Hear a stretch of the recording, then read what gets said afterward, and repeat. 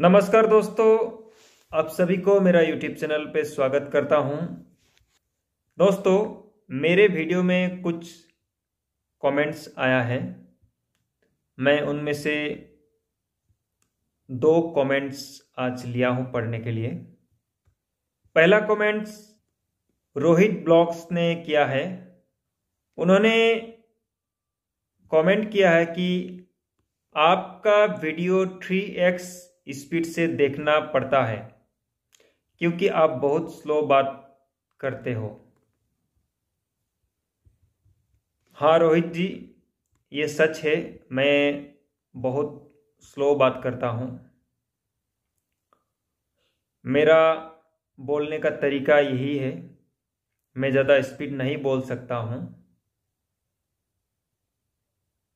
क्योंकि भगवान ने मुझे ऐसा ही बनाया है। हर कोई इंसान एक जैसा नहीं होता है। कोई बहुत ज़्यादा स्पीड बोलते हैं तो कोई स्लो बोलते हैं।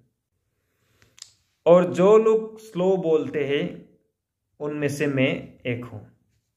तो मैं तो कोशिश करता हूँ कि मैं जल्दी बातें करूँ।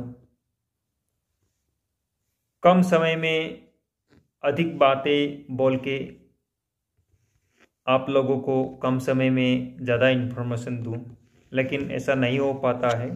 मैं नहीं बोल सकता हूँ। ये मेरा पहले से आदत है। तो मैं जितना सकता हूँ, मैं जितना इन्फॉर्मेशन जुटा पाता हूँ, अदरक से रिलेटेड उसी को लेकर मैं वीडियो बनाता हूँ। और आप लोगों को इन्फॉर्म करता हूँ।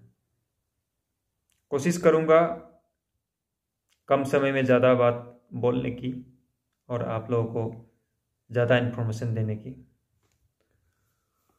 लेकिन मैं जैसा हूँ, वैसा ही हूँ।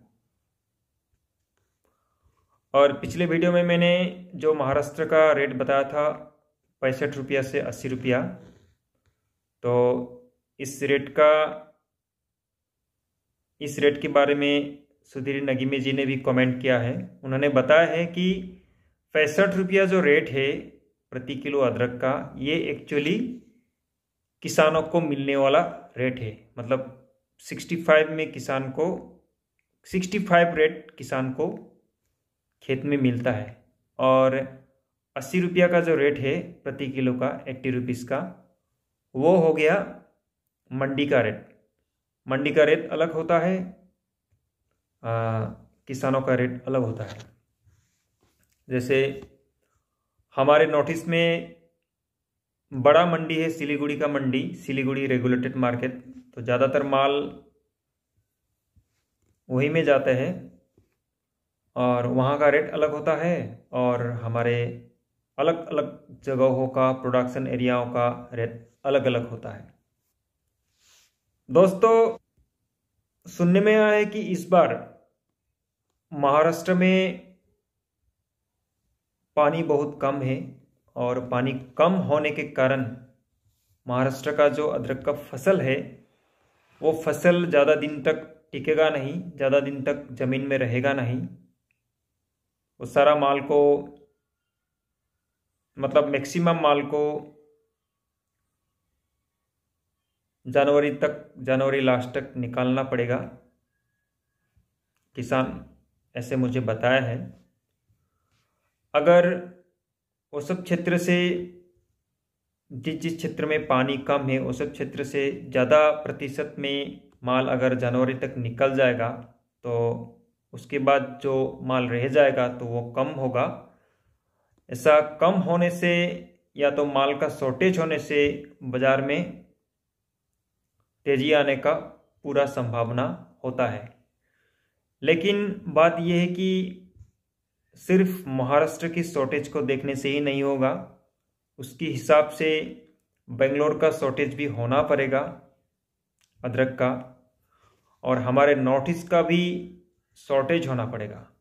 माल का कमी हर जगह में होना पड़ेगा, और मार्केट में ऑल ओवर इंडिया की जितना भी मंडी है मार्केट है हर मार्केट में, हर मंडियों में डिमांड ज़्यादा रहना पड़ेगा। ऐसा होने से ही अदरक की भाव आने वाली फरवरी, मार्च, अप्रैल महीने में हाई रेट में बिक्री होने का संभावना है। इस साल हमारे नॉर्थ ईस्ट में अदरक भरपूर है। पिछले साल मतलब पिछले सीज़न में जितना अदरक निकला था, उससे कहीं गुना ज़्यादा अदरक इस सीज़न में निकलने वाला है। अभी तो हमारे क्षेत्र से पाँच प्रतिशत माल भी नहीं निकला है। पाँच प्रतिशत माल भी नहीं निकला है, फिर भी सिलीगुड़ी मंडी डाउन हो गया है। अगर ये सारा माल अगर एक साथ में एक टाइम में निकलेगा तो बाज़ार का जो भाव है, जो एक्सपेक्ट किया है बढ़ने का वो नहीं होकर उसका उल्टा हो जाएगा, उसका विपरीत हो जाएगा। आज के लिए मेरा वीडियो इतना ही। अगले वीडियो में फिर मिलता हूँ। धन्यवाद। जय हिंद।